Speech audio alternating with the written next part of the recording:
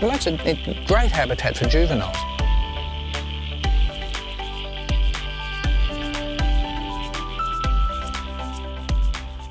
The Ashton Coal Mine actually has an ephemeral creek that flows across it. And so to mine, uh, we had to actually divert this ephemeral creek.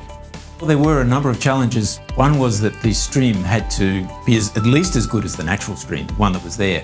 But there were some other limitations. Uh, for example, the, the stream couldn't leak into the mine workings below, and it couldn't leak because that would mean the, the base flows to the Hunter River would be reduced. This project sought to get input from various disciplines and so it engaged with hydrologists, geomorphologists and also stakeholders in the area as well. This philosophy that we adopted carried all the way through even to the construction crew. The collaboration between the, the three, three teams is, is what I'm most proud of and which I'm most proud of with, um, with uh, Ashton Mine because they've put that together and followed it through the way they have. It has had the effect of giving us a diversion creek that doesn't look like a diversion creek. We've got six of our seven native species of fish that we had since the thing opened in the total creek, where six of them have occurred in both diversions.